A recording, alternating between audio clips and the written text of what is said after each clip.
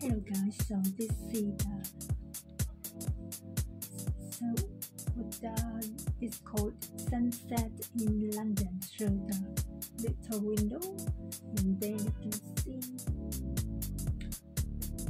you can see right there is the London Eye and then also within that cycle is the Big Ben Big Ben Tower Let's have a closer look. Right there. This dot is the Big Ben and this circle circle around it oops, is the London Eye.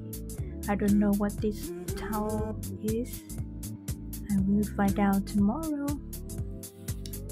So that's it. It's the sunset in central London, which is very peaceful.